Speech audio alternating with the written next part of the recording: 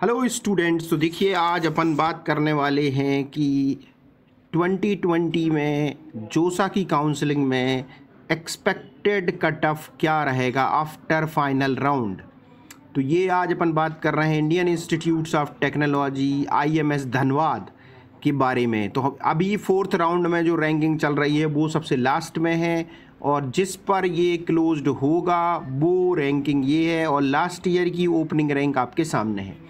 चलिए तो अब स्टार्ट करते हैं वीडियो अपना। सबसे पहले आप देखेंगे एप्लाइड जियोलॉजी फाइव ईयर अभी ये चल रहा है ग्यारह हज़ार नौ सौ अट्ठासी रैंक पे।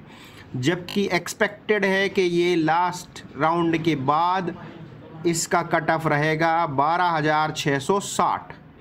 अब आप देख सकते हैं applied geophysics five year integrated programme अभी ग्यारह हज़ार नौ सौ छः पे चल रहा है, जबकि हमारे अनुसार एक्सपेक्टेड कट ऑफ़ बारह हज़ार तीन सौ इकसठ है।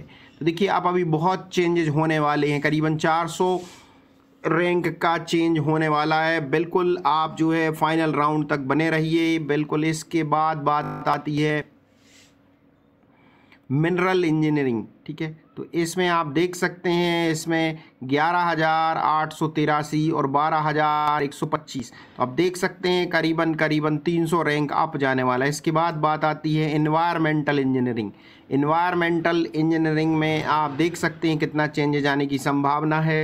इन्वायरमेंटल इंजीनियरिंग ग्यारह हज़ार चार सौ तिरपन पर अभी है फोर्थ राउंड के बाद। और हमारा जो एक्सपेक्टेड कट ऑफ़ है वो वो बारह हज़ार अड़तालीस है। यानी करीबन पाँच सौ रैंक ऊपर जाएगा। इसके बाद माइनिंग माइनिंग मशीनरी इंजीनियरिंग, ये आप देख सकते हैं। अभी इसका कट ऑफ़ चल रहा है ग्यारह हज़ार सिक्सटी नाइन, जबकि लास्ट ईयर था ग्यारह हज़ार चार सौ तैंतालीस। तो एक्सपेक्टेड है कि ग्यारह हज़ार चार सौ तैंतालीस तक निश्चित ये जाएगा। इसके बाद माइनिंग इंजीनियरिंग माइनिंग इंजीनियरिंग देखिए, अभी चल रहा है दस हज़ार आठ सौ सतहत्तर पे। और लास्ट ईयर बंद हुआ था दस हज़ार छः सौ छत्तीस पे तो इसमें कोई चेंज आने की संभावना नहीं है, बिल्कुल। अब इसके बाद सिविल इंजीनियरिंग अभी चल रहा है नौ हज़ार तीन सौ नवासी पर लास्ट ईयर बंद हुआ था आठ हज़ार आठ सौ, इसमें कोई चेंज आने की संभावना नहीं ऑलरेडी चेंज आ चुका है। इसके बाद केमिकल इंजीनियरिंग केमिकल इंजीनियरिंग चल रहा है आठ हज़ार सात सौ तिरसठ लास्ट ईयर बंद हुआ था आठ हज़ार सात सौ तैंतालीस पे। तो इसमें कोई चेंज आने की संभावना नहीं है। पेट्रोलियम इंजीनियरिंग, आठ हज़ार चार सौ तीस और लास्ट ईयर बंद हुआ था आठ हज़ार पाँच सौ छियालीस पे। तो सौ डिजिट से लेके डेढ़ सौ डिजिट तक इसमें ऊपर जाने की संभावना है। इंजीनियरिंग फिजिक्स, अभी चल रहा है सात हज़ार आठ सौ सत्रह पे। लास्ट ईयर बंद हुआ था आठ हज़ार आठ सौ चौरासी पे। तो इसमें करीबन छः सौ अंक ऊपर जाने की संभावना दिख रही है, इसके बाद मैकेनिकल इंजीनियरिंग।